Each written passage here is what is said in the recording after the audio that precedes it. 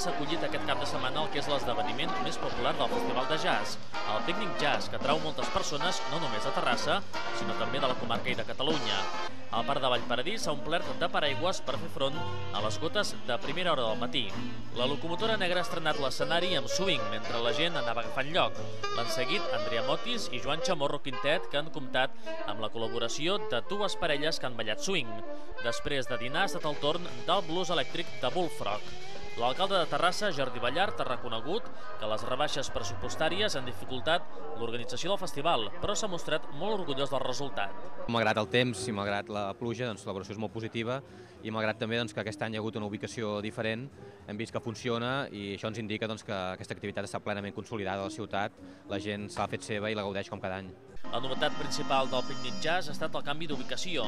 Aquest any s'ha traslladat al torrent de la Font d'en Sagrera, on hi ha un escenari fix i una carpa que protegeix del mal temps. En general, els usuaris han acollit bé el canvi.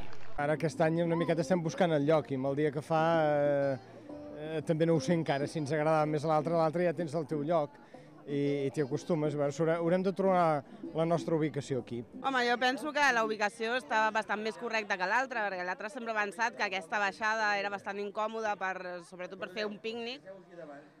S'haurà de veure quan faci sol a la temperatura que et creix al lloc, perquè pot ser que ens fregim. M'agrada més aquest lloc, el trobo més ample i perquè la gent estigui, no sé, millor. Jo crec que està més bé aquí. Als voltants del Picnic Jazz també s'hi han instal·lat parades de restauració i una fira del disc.